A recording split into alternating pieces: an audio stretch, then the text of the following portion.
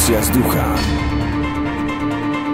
Wywiady fundamentalne Tomasza Terlikowskiego. Tomasz Terlikowski, rozmowy fundamentalne i mm, ciąg dalszy. Naszym gościem jest Zbigniew Nosowski, dyrektor programowy Laboratorium Więzi, były e, współprzewodniczący Polskiej Rady Chrześcijan i Żydów. Ja bym wrócił do tych gestów. Bo gest ma ten kłopot, o tak bym powiedział, że z jednej strony bardzo mocno otwiera. E, rzeczywiście e, spotkanie, gest, uśmiech, przytulenie, milczenie, wejście gdzieś są rzeczami bardzo otwierającymi, ale jednocześnie rodzi pewne niebezpieczeństwo rodzi niebezpieczeństwo bardzo różnych interpretacji. Słowo, które też oczywiście może być różnie interpretowane, jednak tą ilość interpretacji mm, zmniejsza. Na ile za gestami papieskimi, które mm, no, były mm, przełomowe, szła wypracowywana teologia. Ja posłużę się przykładem z innej trochę dziedziny, czyli, ale też dialogicznej, dialogu chrześcijańsko-muzułmańskiego. Papież ucałował Koran w czasie wizyty w meczecie w Damaszku. No i tak naprawdę nie wiadomo, co to ma znaczyć. Gest jest piękny. On został bardzo mocno przez muzułmanów doceniony. Ale dla teologów chrześcijańskich, czy dla teologów katolickich, to jest problem, bo cóż ma znaczyć to to ucałowanie. Albo to jest tylko pusty gest, że jeżeli tak można powiedzieć, który nic nie znaczy, albo to jest jakieś docenienie naturalnego objawienia, no ale wtedy powstaje pytanie, na ile to naturalne objawienie może być po objawieniu, które się już dokonało w pełni w Jezusie Chrystusie, albo to jest docenienie jakiejś formy nadnaturalnej y, y, objawienia, tak uważa Olivier Clement, mówiąc, że być może część sutry Mm, koranicznych to są, to są jednak teksty objawione realnie, ale nie wszystkie. W związku z tym, na ile ten gest mógł być, czy te gesty mogły być. E, znaczy, na ile za tymi gestami szła realna teologia, szło realne słowo, a na ile one już żyją własnym życiem e, i są nieustająco interpretowane bez odniesienia do samego nauczania papieskiego. Znaczy, to, co pan proponuje teraz, jest y, otwieraniem kolejnych przestrzeni tej rozmowy. Y, ja muszę zastrzec, że no, czymś innym, zupełnie fundamentalnie innym, skoro prowadzimy rozmowy fundamentalne, jest stosunek chrześcijaństwa nie, do zgoda. judaizmu, o czym innym do innych religii. Tu, więc, tutaj nie ma żadnej, mm, żadnego sporu. Z nami, pomimo, tak. pomimo tego, że, że, że oczywiście łączy nas też wiara w jednego Boga z muzułmanami, ale oczywiście nie jest to ten sam stosunek co do, do judaizmu i, i, i to by trzeba wprowadzać tutaj, tutaj, zupełnie inne wątki. Mnie chodziło tylko mhm. o przykład pewnego gestu, który tak. który bez teologii jest niezrozumiały, o tak bym mhm. powiedział. Znaczy ja, ja, w tamtym geście widziałem po prostu szacunek. Znaczy ja, ja nie widziałem tam akurat y, specjalnie intuicznej, e, teologicznej jakiejś intuicji e, e, stojącej za tym, za tym gestem papieża. Natomiast myślę, w tych relacjach chrześcijańsko-żydowskich gesty akurat były ze słowami zbieżne. To znaczy, oczywiście można gesty Słowa tak samo mogą być różnie interpretowane. Mamy również w Polsce e, e, silny nurt próbujący e, pomniejszyć znaczenie słów Jana Pawła o starszych braciach w wierze, mm, które w sposób oczywisty nie były słowami doktrynalnymi, ale, ale właśnie wyrazem więzi, bliskości i, i, i pewnej oczywistości, no, że, że braćmi jesteśmy. Y, ale o tym, o tym braterstwie katolików i Żydów można długo mówić, ale kiedy się je y, wyrazi gestem bliskości pomiędzy duchowymi przywódcami obydwu religii, to wtedy ten znak jest o wiele bardziej czytelny. No, nawet Benedykt XVI, który jest przecież raczej papieżem słowa niż gestu, y, kiedy zdobył się na gest, kiedy powstał w czasie pielgrzymki w Izraelu na modlitwie międzyreligijnej, w czasie pieśni śpiewanej przez rabinę rabina Alona Goszem-Gottsteina e, modlitwę o pokój, kiedy Benedykt porwał się z krzesła, poderwał się z krzesła, wziął za ręce siedzącego obok mm, rabina i, i druzyjskiego duchownego, to, mm, to wydarzenie e, miało o wiele więcej mm, treści niż, niż e, wszelkie słowa. No, a zadaniem komentatorów, teologów, publicystów jest jakoś tę treść zrozumieć, opisać, wyrazić, przyłożyć do rzeczywistości. Tak, ale tutaj ja nie chcę się czepiać gestów, bo ja rozumiem ich znaczenie, ale one też rodzą, powiedziałbym, taki taki czasem niepokój, taki... Mm, to nawet nie mówię o, o, środowiskach niechętnych dialogowi, ale na przykład mm, tak mocne podkreślanie mm, braterstwa chrześcijan i Żydów, tak mocne podkreślanie znaczenia judaizmu było bardzo y, z, z dużym ciepłem przyjmowane. Ale kiedy już papież, kierując nauczanie czy kongregacja nauki wiary, kierując nauczanie już do chrześcijan, przypominała na przykład, że poza Chrystusem nie ma zbawienia. E, mówię o słynnej deklaracji Dominus Jezus, to środowiska żydowskie mówiły, część środowisk, czy część, y, y, część przedstawicieli tych środowisk, bo oczywiście trudno mówić o środowiskach żydowskich, to by było nieprawdziwe. Bardzo ważne zastrzeżenie. Tak.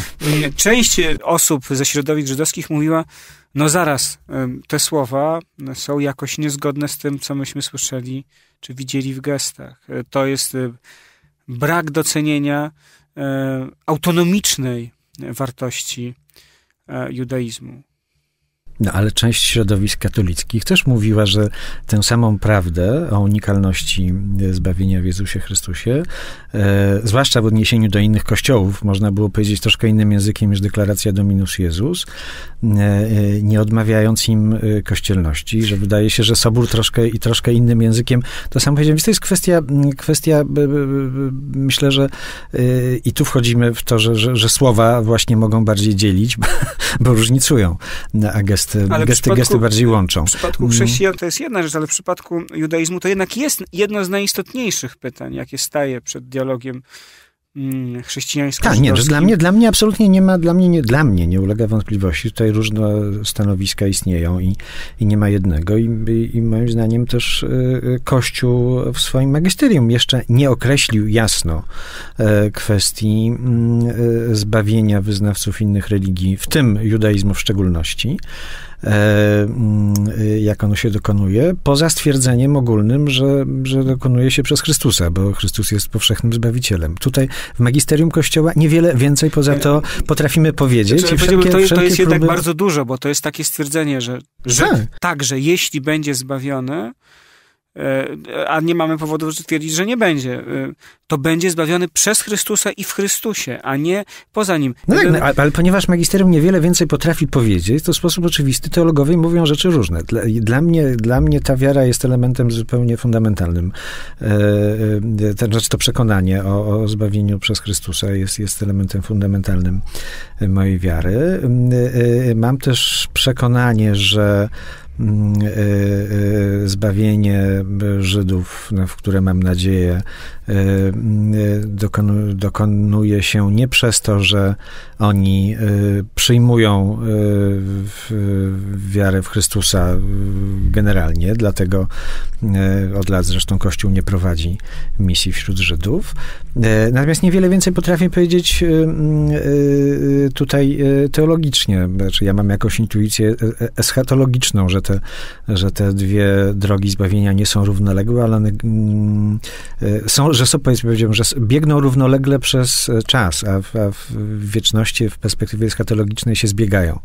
E, ale to jest też raczej pewna wizja niż e, pogląd teologiczny, ale nie, ja akurat nie usiłuję mieć poglądu teologicznego wielkiego w tej sprawie, bo nie jestem ekspertem. Nie, czy, czy nie jest to bliższe intuicji Rosenzweiga niż, niż Kościoła? Bo to Rosenzweig miał taką, on to wyrażał oczywiście o wiele silniej a ja stanowczo mówię, że one nie są równoległe, bo się zbiegają w wieczności.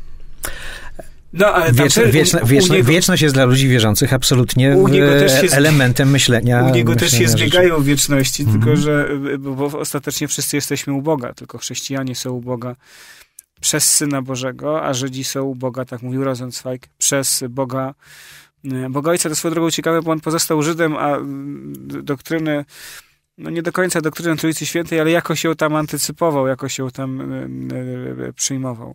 A jaki był, e, czy możemy powiedzieć, jakie stanowisko w tej sprawie zajmował sam Jan Paweł II? Bo tu z jednej strony są gesty, z drugiej strony jest przypomnienie o konieczności misji. Tu rzeczywiście Izrael był, trudno powiedzieć, był wyłączony. No nie prowadzono misji, natomiast nigdy nie mówiono, że Żydzi nie mogą się nawrócić, czy że czy że, czy że powinien być zakaz wprowadzany prowadzenia misji wśród, e, wśród Żydów. Mówiono tylko tyle, że nie ma... Nie ma zakazu, ale się nie prowadzi zorganizowanej misji wśród Żydów. No ale to powiedziałbym, nie prowadzi się od 30 lat. Historia Kościoła ma 2000 lat, to, to, to, to się może zmienić, o tak bym powiedział, bo doktrynalnego zakazu nie ma. No, ale 99,5% katolików modli się w Wielki Piątek o wierność, o to, żeby Żydzi trwali w wierności przymierzu. E... No ale pytanie, co to znaczy? No właśnie. Pytanie, co to no to znaczy? Ja pytanie, to ja pytanie dlatego, o które przymierze chodzi? To ja, to ja dlatego mówię, że, że ta kwestia jest w tej chwili przedmiotem e, dyskusji teologicznych, a sam tutaj się absolutnie nie czuję ekspertem i, e, i odżegnuję się od tego stanowczo. Nie jestem teologiem judaizmu, jestem, jestem praktykiem dialogu chrześcijańsko-żydowskiego. Nie, nie, nie studiowałem tych kwestii, mam pewne to, intuicje. To w takim razie z, z, zmieńmy trochę perspektywę. Na ile ten, bardzo mocne słowo, to nie ulega wątpliwości, słowa, gesty, Mm, intuicje papieskie, na ile zmieniły relacje polsko-żydowskie już? Powiedział pan, że jest pan praktykiem tych relacji. Na ile one zmieniły serca? Zacznijmy od Polaków, no bo to, mm, e, e, to jest najistotniejsze. No, czy, czy, polskich katolików, co jest jeszcze istotniejsze, bo nie każdy Polak przecież musi być mm, katolikiem, w związku z tym nie każdy musi uznawać e, Ojca Świętego za autorytet w dziedzinie religijnej. No, mamy przede wszystkim Polaków Żydów, więc mm, i to takich, którzy bardzo mocno podkreślają swoją polskość. Mamy Polaków protestantów, e, mamy Polaków ateistów. Tak, oczywiście, no tak, tak. E, znaczy nie, myślę, że one zmieniły wszystkie, wszystkie te grupy, e, także, znaczy cały, cały pontyfikat Jana Pawła II e, e, wpłynął także na relacje polsko-żydowskie w, w, oczywiście w różny sposób na, na, na różnych ludzi, różne środowiska i, i tak dalej, ale ale jest to, moim zdaniem, jesteśmy absolutnie w innej epoce niż mm, poprzednio. I mógłbym długo mówić, podając rozmaite mm, przykłady bez dokładnych cytatów, bo w studiu radiowym nie mam ich przy sobie, ale można by długo opowiadać o tym, jak, jak z, z jak wielkim zrozumieniem Mm, zaczynają patrzeć na, e, również na Polaków, nie mówię już tylko na polskie doświadczenie, nie mówię już tylko o kościele katolickim w wymiarze powszechnym, e, Żydzi rozmaitych krajów świata, jak bardzo się na to otwierają. Oczywiście jest wiele przykładów trwania w zamknięciu, w stereotypach, tak samo jak i po naszej stronie przykładów niechęci wobec Żydów znaleźć można na pęczki, ale e, moim zdaniem tym e, tendencja jest, jest bardzo wyraźna e, ku zrozumieniu, ku wzajemności, ku mm, temu, co, co, co najważniejsze w dialogu, żeby próbować patrzeć na, na drugiego tak, jak on sam patrzy na siebie. A na ile właśnie, zaczął Pan mówić o tym, że to jest relacja mm, wzajemna, E, no oczywiście jest deklaracja Emet, bardzo ważna, fundamentalna, mm, ale na ile ona przenika e, w głąb, na ile ona dociera rzeczywiście do środowisk żydowskich, na ile one mają mm, świadomość, poczucie, przekonanie, że ten dialog jest ważny także dla nich, nie tylko dla chrześcijan. Bo cały czas jak się wraca, nawet do tekstów e, praktyków dialogu, mówię o części rabinów, na przykład, czy część teologów żydowskich, to oni mówią, to jest dialog ważny dla chrześcijan. No bo to oni są młodszymi, młodszymi braćmi. Dla nas on jest w gruncie rzeczy zdecydowanie mniej istotny. No, potrzebny o tyle, o ile pozwala urządzić w miarę e, spokojne relacje i nie dopuścić do powtórzenia się tego, co wydarzyło się wcześniej. Bo to jest prawda. E, bo oczywiście dla religijnego zrozumienia samych siebie żyć w żaden sposób nigdy nie będą potrzebowali chrześcijaństwa w taki sposób, jak chrześcijanie potrzebują dla religijnego zrozumienia samych siebie Ale judaizmu. Historycznie to nie jest do końca prawda, dlatego że judaizm rabiniczny kształtował się już po objawieniu e, w Jezusie Chrystusie i są w nim także elementy polemiczne wobec chrześcijan. Nie, nie, ale to jest zupełnie co innego. To znaczy, to jest opis tego, że, że w trakcie historycznego rozwoju religii one na siebie nawzajem oddziaływały. To jest, to jest oczywiste. I, I, w judaizmie były elementy reakcji na chrześcijaństwo, w chrześcijaństwie reakcji na judaizm, i w katolicyzmie reakcji na protestantyzm i tak dalej. To jest opis oddziaływania już istniejących religii na siebie. Natomiast mówię dla fundamentalnego zrozumienia religijnego. Chrześcijaństwo wyrasta z korzenia żydowskiego, dla judaizmu chrześcijaństwo nigdy nie jest tak bliską rzeczywistością, prawda? Jak, jak korzeń, z którego my, korzeń, jakim źródło, jakim jest judaizm dla nas chrześcijan. I tak będzie zawsze, co nie znaczy, że nie ma wzajemności. To znaczy, stwierdzenie tego faktu nie oznacza, że wzajemności nie ma i nie będzie. I tu znowu mógłbym długo mówić o, o przykładach, w których ona jest, bo, bo w polskiej publicystyce istnieje przekonanie, że, że jej nie ma. Ona jest i jest dużo przykładów poza Dabruemet. Jest wiele prac teologów. Polska Rada Chrześcijan i Żydów, teologów żydowskich. Polska Rada Chrześcijan i Żydów próbowała mm, e, w poprzednich latach e, ściągać na przykład tutaj wybitnych teologów żydowskich, którzy właśnie o tym mówili. Publikowaliśmy te ich teksty, ale zazwyczaj, e, chociaż ludzie przychodzili tłumnie, to media przychodziły bardzo nietłumnie i na zaproszenia nie odpowiadały i, i o tym się nie pisało. Znaczy rewelacyjny, absolutnie rewelacyjny tekst e, rabina Irvinga Greenberga, e, ortodoksyjnego teologa żydowskiego, człowieka, który jest wielkim autorytetem w świecie żydowskim, amerykańskim, o rozwoju żydowskiej teologii chrześcijaństwa, w którym pokazywał, jak że istniało również coś takiego jak żydowskie nauczanie pogardy, e, będące odpowiedzią na chrześcijańskie nauczanie pogardy, ale, ale, ale jakby otwarcie o tym mówił. Człowiek, który wychodzi bardzo naprzeciw myśleniu o wcieleniu, o, mm, o trójcy też, jakby akceptując ty, tyle, ile może Żyd, mm, y, pozostając przy, przy swojej wierze,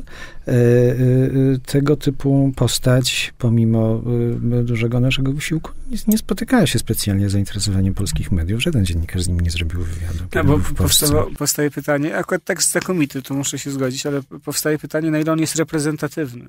Na ile można mówić, że nie teolodzy, nie kilku, kilkudziesięciu, kilkuset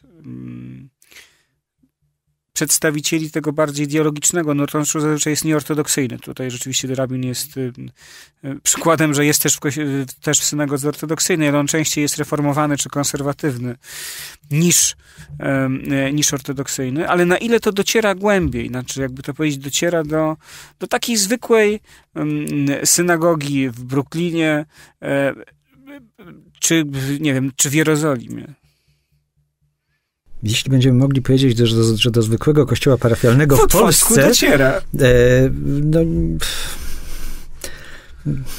nie powiedziałbym, że dociera do przeciętnego kościoła w Otwocku. E, mamy teraz parafii 10 katolickich i pół Żyda, bo, bo okresowo mieszka w Otwocku jeden Żyd i bynajmniej nie, nie wszystkie mhm. parafie się angażują, powiem tak subtelnie już, e, e w te działania, które tam e, prowadzimy. Mm, natomiast jak to, to, to jest dla mnie pierwotne. Znaczy oczywiście, oczywiście nie dociera to do przeciętnej synagogi, tak jak i do przeciętnego kościoła nie dociera nie tylko nauczanie Jana Pawła, ale i Soboru na ten i, i, i parę innych tematów. Jakby życie religijne na dole toczy się y, we wszystkich religiach swoim rytmem, niezależnie od y, prac tych, którzy próbują nowe wizje sformułować, ale stanowczo bym bronił tezy, że że, że kilku to już jest coś, bo dziesięciu sprawiedliwych ocaliło Sodomę, kilkudziesięciu to, to jest już bardzo dużo, a kilkuset, jak pan wymienił, i, i, a z tym też mamy do czynienia przy różnych, bardziej czy mniej znaczących deklaracjach, to jest, już jest naprawdę bardzo dużo, zwłaszcza jeśli tych kilkuset pochodzi z różnych krajów. Na momencie, kiedy słucham ortodoksyjnego rabina w Izraelu, oczywiście nie tego z Measharim, nie z, z, z dzielnicy mm, superortodoksów, ale człowieka, który specjalnie przyjechał do Polski, żeby jeździć śladami Jana Pawła II i opowiada e, na konferencji zorganizowanej o polskim kościele katolickim i jego stosunku do Żydów i, i równolegle stosunku Żydów do e, chrześcijaństwa, do Polski. Opowiada o tym, że będąc w Łagiewnikach, w sanktuarium w Łagiewnikach, e, zrozumiał uniwersalne przesłanie siostry Faustyny, nauczania siostry Faustyny o miłosierdziu Bożym, a trudno o bardziej chrystowskie christocentryczny przekaz niż e, obraz Jezusa miłosiernego, to ja naprawdę mało wtedy, jak to usłyszałem, mało nie spadłem z krzesła. Ale to znaczy, że, że naprawdę posunęliśmy się e, bardzo daleko, jeśli e, ortodoksyjny rabin potrafi powiedzieć, że przekaz, który idzie tak mocno przez Jezusa, jest przekazem uniwersalnym. Zbigniew Nosowski, redaktor naczelny miesięcznika Więź, dyrektor programowy Laboratorium Więzi, były współprzewodniczący Polskiej Rady Chrześcijan i Żydów jest naszym gościem. Za chwilę wracamy do rozmowy.